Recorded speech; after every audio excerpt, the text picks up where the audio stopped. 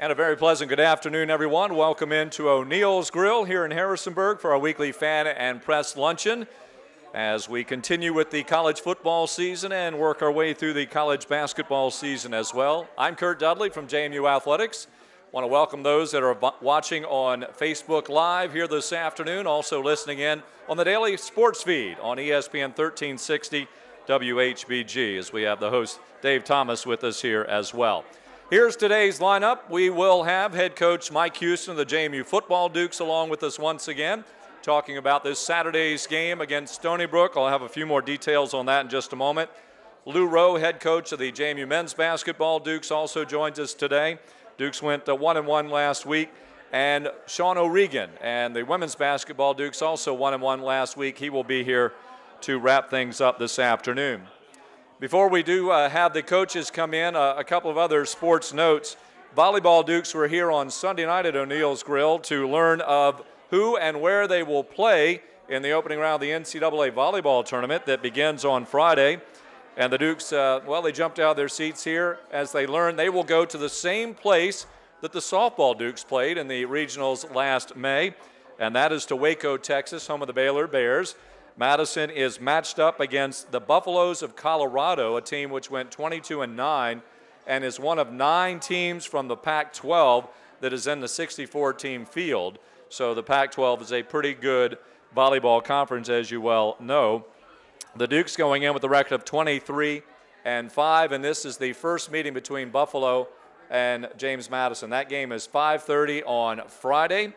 And the winner of that contest on Saturday meets the winner between 12 seeded Baylor and the Miami of Ohio squad that won the MAC and goes into that tournament. Again, that's 5:30 on Friday. Moving on to football, the Dukes do host Stony Brook at 2 o'clock Saturday at Bridgeforth Stadium. Tickets do range from $15 for general admission to 135 for club level. Of course, for club level, you have to have the minimum Duke Club donation in. Uh, JMU students are admitted free, but they still have to register online to get their tickets. Stony Brook, a member of the Colonial Athletic Association, like JMU, but it is one of those teams the Dukes did not face during the regular season. Uh, they earned an at-large bid, going nine and two. Their losses were to Delaware. That was a home loss to the Blue Hens about mid-season. Their other loss was early in the year, 31 to 17 to South Florida, when the Bulls were nationally ranked just inside the top 20. And uh, by the way, South Florida came a win away from making the championship game of the American Athletic Conference, but did lose to unbeaten Central Florida this past week. So the uh, the uh, Stony Brook Seawolves finished nine and two during the regular year, but they'll come to town 10 and two, beating Lehigh of the Patriot League 59 to 29 in the opening round this past Saturday. The winner of the JMU Stony Brook game gets a team from Utah. It could be Weber State or it could be Southern Utah.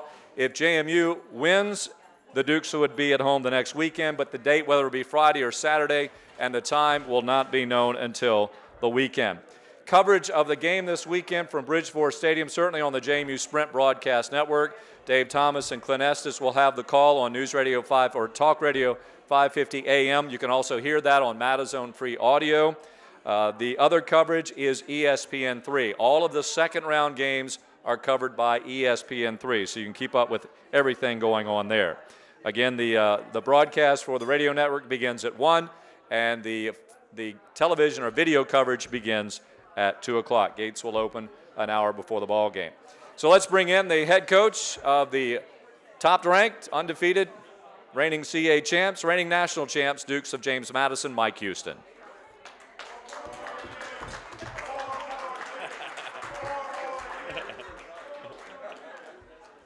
All right. Thanks a lot, and good to be back uh, this week at O'Neill's, and thanks to Tim and uh, Mo and our enthusiastic audience uh, for being here today. So, uh, an exciting time of the year. So, uh, as we enter December, and you know, anytime you're playing football in December, uh, that means you've had a special year because there's only a few teams left playing in the country. I don't care what level you're talking about. So we're excited to be in the national playoffs, and we're excited, you know, to have a second round game at home in Bridgeforth Stadium this week against a very good Stony Brook team.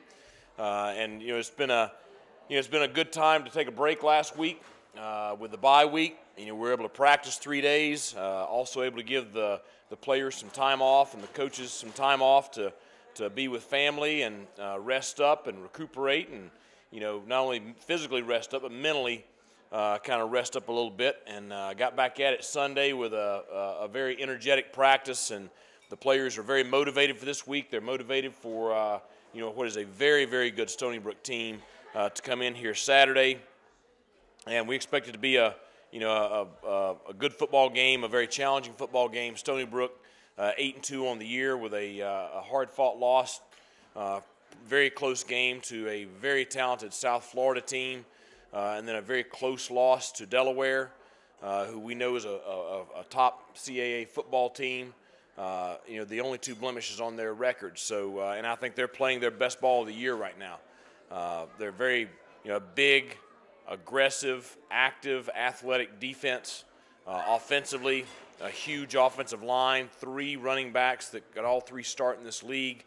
Uh, I know that uh, you know Bolden may be out this week at wide receiver, but you know it's almost like they have clones coming in right behind them. You know whether it's Washington or Anderson or Jackson. You know, all three of them are, are you know big playmakers, as we saw last week with uh, Jackson having the 76-yarder against Lehigh. So uh, you know, I think it's it's going to be a great football game. So uh, it's going to be uh, you know it's going to be a, a, a, a, typical postseason football game. Two two uh, you know top-notch defenses, two teams that are going to be very physical trying to run the football.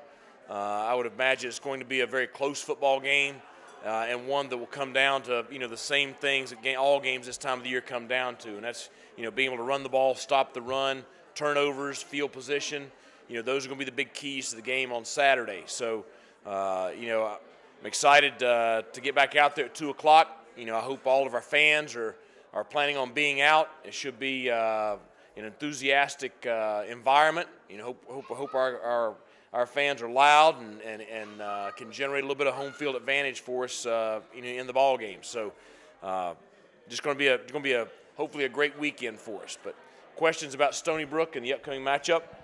Coach Dave Thomas, ESPN Radio, Harrisonburg, JMU Sprint Broadcast Network. When you look at their offense, they are physical. They're like you. They want to run the football. But they've got 35 roughly scoring drives under three minutes, and they've got eight 40 plus yard scoring right. drives break down their offense, how they're physical yet can still strike the big right. play when they want to. Well, you know, it's it's an RPO kind of scheme where it's a lot of their plays are designed for Carbone to make the decision whether he's going to hand the ball off or execute the passing game. And you know, they run the ball so effectively that they really they force people into a lot of one-on-one matchups. You know, I commented just a second ago. You know, they have they have four big time, big play wide receivers. You know, if Bolden's out, they still got you know three others, and then then, then 86 uh, Trent filled in last week, and he's, he's a he's a clone of Jackson. You know, tall, uh, rangy, uh, and you know all those guys. If they catch the ball, you know, in space, you know, one on one, if they beat that one guy, it's you know it's it's over. You know, just like just like we saw last week against Lehigh. You know, Jackson catches the glance route off the RPO fake, and next thing you know, he's he's in the end zone. So you know they have that big playability. You know, the the pressure it's going to put on us is you know we've got to stop their run game. You know, those three backs are powerful runners. They're downhill runners. You know, uh, uh, I don't want to mispronounce his name. Uh, Liotine is maybe more of the physical runner. The other two are, you know, shifty jump cut. You know, is the one that everybody knows. Uh, we, we got to do a great job shutting those guys down, but at the same time, we're going to have to do a great job in the secondary of staying on top of those routes uh, and not giving up the yard after the catch, yards after the catch. You know, when we're able to execute and connect.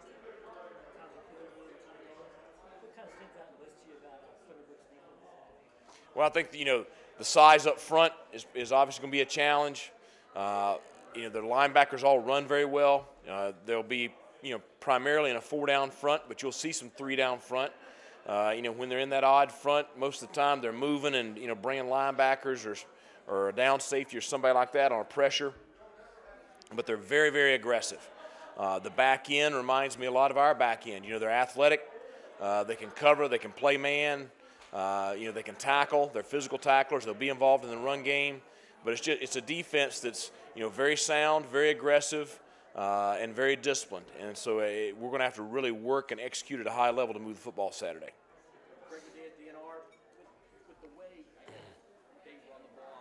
Your defensive line is going to have to be a big part in stopping the run. What have those guys done this year really well? Andrew and Simeon and, and Cornell in, in, stopping the run. I know they got a lot of praise for their, their sacks and, and rushing a passer, but what have they done well in the run game? Well, I mean, it all comes down to something that sounds very cliche-ish, but you know they do their job.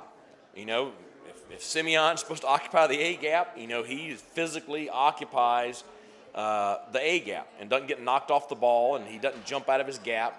Uh, and you know the linebackers do a great job of fitting the run game behind them as well. But it all comes down to just them doing what they're supposed to do. You know, if if Andrews know supposed to play shuffle on the quarterback, then he doesn't go chasing the dive. You know, he, he, everybody does their job, and if they if they do it with discipline, uh, and everybody's on the same page, then it all comes down to just making the play. And if you can make the play consistently, then you should make people, you know, people to have to really work to move the football. So, you know, hopefully we're able to do that. You know, I think the challenge with them is, you know, number one, having guys in the right spot to make the play, and then with their running backs, you know, you got two that can make you miss, and you got another one that'll try to run you over. Uh, you know, we're going to have to do a great job with those one-on-one tackles this Saturday. David Aguzma, TV3 in Harrisonburg. You have a senior class that not only won the national championship last year, but also went one and done the previous two years. I know you talked about this yesterday in the teleconference, but how will playoff experience just be a part of what sets you apart in the playoffs? Well, I mean, I think that you know all those experiences are, are important. You know, they understand the pain uh, of the Liberty loss or the Colgate loss because they were there and they lived through it. And you can, and I've asked them at various times you know, I said, you know, tell me about how that felt. You know, cause I, I wanted to remember that pain because pain can be a great motivator. Uh, at the same time, they remember, you know, the playoff run last year. Uh, but, you know, for us, the key is, you know, every game we need to treat the same as we did all throughout the season. You know, the only thing that matters right now is the Stony Brook game, and our preparation is going to be consistent. Uh, you know, the, the things that are going to be important this Saturday are the same things that were important at Elon. You know, we're going to have to do a great job of just of doing what we do, uh, doing the things that good football teams do, uh, and then winning those key, you know, factors that I talked about, uh, you know, early on in the press conference. But you know, our, our kids understand that even though the intensity gets ramped up, the attention gets ramped up, the stakes are much higher. It still comes down to being the same football team that they've been for the past 12, 12 13 weeks. With the way uh, with the way Stony Brook played on special teams this past Saturday, especially I guess the punting game, they were able to pin Lehigh deep yeah. a couple of times. Have you guys talked about you know field position and the average starting field position? Yeah, no doubt. I mean, that's you know, we talk about it each week, you know, because it's always a big factor for us. But uh, you know, they're very you know. You see them, they're aggressive and physical on offense, they're aggressive and physical on defense. You know, I can promise you they're going to be the same thing on special teams, and they are. Uh, and they're, you know, they do a great job in that phase. Uh, you know, they do, they do a great job, you know, just like Harry has all year for us, of you know working. I'm sure they work it just like we do. You know, we work it every Saturday night. We're going to work it today. You know, trying to pin that team inside the ten. Uh, you know, obviously they do a great job with that as well. But it, you know, it comes down to all three phases fitting together and working together. And I think that their ball club is built very similarly to our ball club, and that's you know that's that's why you see all those things working together. And that field position in the playoffs is going to be critical. You know, because if you can if you can keep people on their end of the field, obviously you know, your chances are going to be a lot better no matter which side of the ball you're on, offense or defense. Coach, I know with the two teams being so similar, you're going to want to try to do what you do. But is there a temptation? Because I know in the playbook there are things you've not shown us that look totally different than what you've done on both sides of the ball, even on special teams. Is, is there more of a temptation in a one and done playoff scenario when you're against a team that's similar in strength that you are to, to maybe pull some of that out and, and, and revisit at least the opportunity to use it? Well, I think there's there's always going to be wrinkles in each ball game, and certainly there's there's things that we haven't shown. There's things we haven't shown yet this year that we've worked all year. You know, uh, I'm sure they're the same way. Uh, it all comes down to you know what fits the timing and the ball game and the situation, and the scenario, and uh, you know at the end of the day, you know we're going to go out and do everything we can to win the ball game on Saturday. So you know everything's on the table. Can you talk a little about Stony Brook's quarterback? Seems like he's playing at a pretty high level right now. No, there's no. I mean, 22 touchdowns and three interceptions. I mean, I, I would call that a high level. So, uh, you know, he had, you know, he had an up and down year. You know, year before last. Uh, and I think that you know, anytime you talk about the quarterback position, a lot of times those guys have to go through some growing pains and have to make mistakes in order to learn how to not make mistakes. but I think he does a good job of running that offense. You know, and, and it's a and you'll see them check with me. You know, they're, they're going to try to get us to jump off sides. They're going to try try to get us to show what we're doing on defense. Um, and then he's going to do a great job of checking into whatever he thinks is the best play for it, and then he does a great job executing uh, everything post snap. So, you know, he's much like our quarterback. You know, he's a seasoned veteran. He's playing at a very, very high level. He has good players around him, uh, and you know his performance on Saturday and how you know how he handles everything, and same thing for Bryan. You know that's probably going to dictate how our offense and how their offense uh, you know executes on Saturday. Does it help at all that you face a CAA opponent to start off uh, because there's a bit of familiarity no, with the I league? think it's terrible. yeah, I mean, I, you know, I think they're one of the best teams in our side of the bracket, uh, and I think we are too. Uh, I, I, hate that we're facing each other in the second round because, you know, either one of these two teams, I think you could easily see deeper on. Uh, the one thing we are guaranteed of is one of us is going to be playing the quarterfinals, so we'll have a CAA team in the quarterfinals. But uh, no, I don't. I don't like seeing a conference opponent this early. But you know, we've seen it two years in a row, so maybe that's their way of weeding us out. You know, put us against each other. But uh, you know, you got to play them at some point anyway. You know, if they're in the if they're in the tournament, uh, you're probably going to have to play them at some point down the line anyway if they're a good team. Coach, nationally, this past weekend was rivalry week. And we saw some, some pretty good football games, but we also saw a lot of testiness, even spilled over into the professional level.